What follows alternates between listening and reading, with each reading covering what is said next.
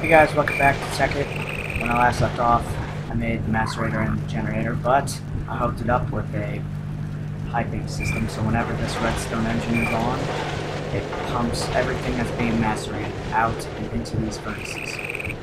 So, yeah, I did some mining and I got some diamonds, so I'm gonna put these away real quick. I'm gonna make a, oh, energy condenser. I'm gonna make a extractor today. Now, what an extractor does is it basically extracts. So, to make it, you need four tree taps, a electronic circuit,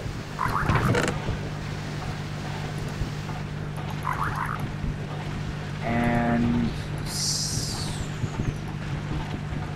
find that block to find out. Machine block, that's what it's called. Now I can't use these right here. I'll show you why in a second.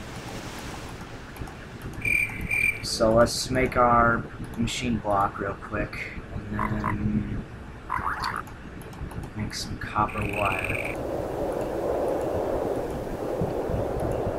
So now we need a electronic circuit, which I don't have any giant redstone. So let's put that in our inventory. And then come on to the crafting table. Make one of these. So you make it like this, but it won't craft for me because this tree tap has been used. So I need to make a whole new tree tap easily do. So let's get our axe out. Go, oh, that's a big tree. Let's uh, cut this tree down.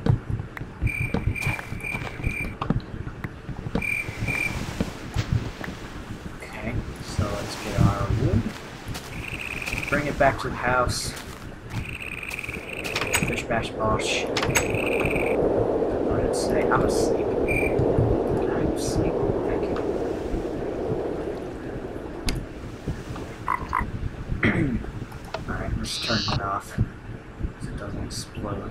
So, I need to make one more wooden plank. Okay.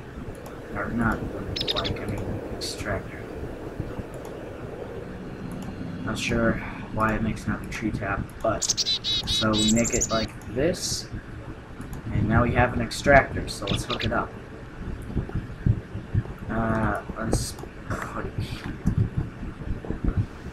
Now, this is going to be dangerous because it's not insulated, but I will insulate it soon. So, this is a very inefficient way to power because you need lots and lots of coal. So, next time, I'm going to make a solar power farm. So, thanks for watching, guys. Bye.